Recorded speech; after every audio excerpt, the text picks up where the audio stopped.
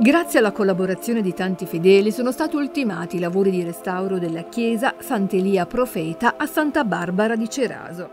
I lavori saranno inaugurati e presentati all'intera comunità martedì sera alle ore 18.30, con la messa che sarà celebrata dal vescovo della diocesi di Valdo della Lucania, Ciro Miniero. A presentarci in anteprima i lavori e soprattutto a ringraziare le tante persone che hanno collaborato il parroco Don Salvatore Monterosso.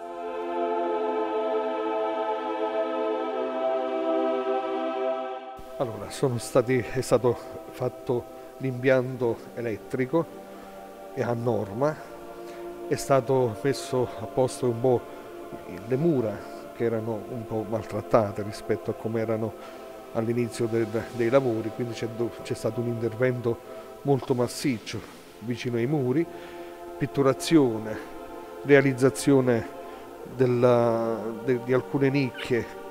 che erano già aperte, poi murate, sono state riportate di nuovo eh, alla vista e la mh, pulizia del pavimento che è stata ultimata qualche settimana fa.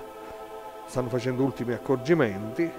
è stato un lavoro lungo, abbiamo chiuso il 23 di eh, gennaio, però questo lavoro è stato fatto e questo è un momento che voglio ringraziare tutta la comunità di Santa Barbara per quello che ha fatto sia economicamente e sia lavorando perché qui ci sono delle persone che hanno, finivano il lavoro alle 5 del pomeriggio e venivano qui e fino alle 9, 9 e mezza, 10 di sera sono stati qui senza percepire una lira, solo con la loro professionalità di muratori, di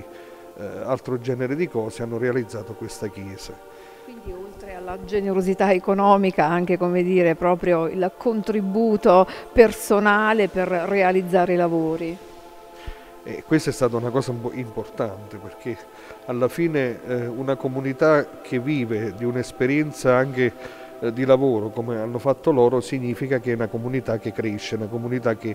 tiene all'edificio di culto e veramente hanno dimostrato un grande interesse. Io volevo lasciarti l'elenco di, questi, di queste persone, ma sono dei, dei nomi, però sono nomi di persone che veramente hanno lavorato tanto. Eh, mi riferisco a Francesco De Luca, a Tilio Nicoletti,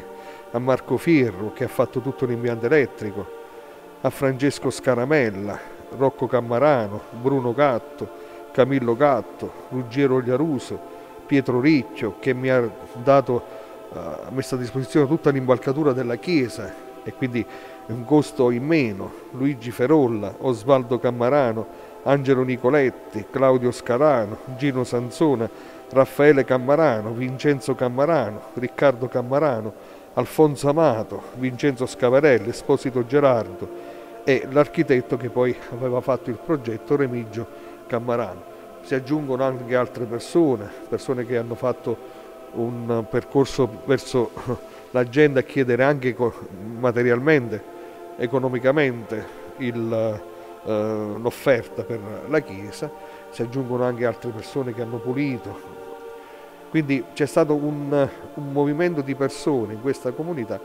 che da quando abbiamo chiuso fino a questo momento e siamo qui e ci sono ancora due persone che stanno finendo di, di lavorare eh, hanno dato il loro contributo e io li ringrazio veramente di cuore.